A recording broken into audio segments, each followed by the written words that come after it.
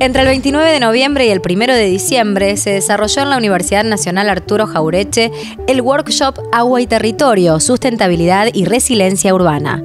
Esta actividad fue organizada por la Comisión de Investigaciones Científicas del Ministerio de Producción, Ciencia y Tecnología de la provincia de Buenos Aires y el Instituto de Ciencias Sociales y Administración de nuestra universidad. El workshop trata sobre el tema, todo el tema de recursos hídricos tiene un aspecto muy territorial porque nosotros venimos trabajando en la universidad muy en el territorio de, Florencio Varela y Verazategui. Y estamos invitando a un grupo de gente bastante variado. Tenemos un invitado de Colombia, de la Universidad Tecnológica de Pereira, que nos está hablando sobre su tema particular en sus cuencas.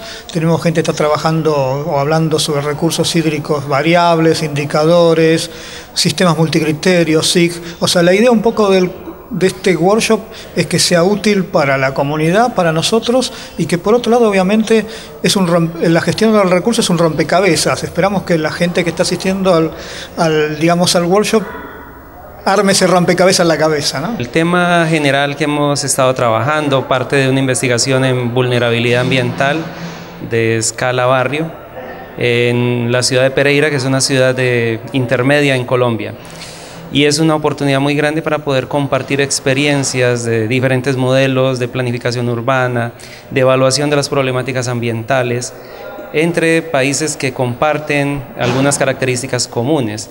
Eh, nosotros hemos eh, generalmente abordado temas eh, de otros contextos de países desarrollados, pero a veces entre nosotros, nuestros propios países que son más similares, nos olvidamos. Y creo que esa es una de las grandes contribuciones de este tipo de eventos, la posibilidad de que los investigadores, los estudiantes y en general la academia conozca las realidades locales y pueda apropiar ese conocimiento de otros contextos similares.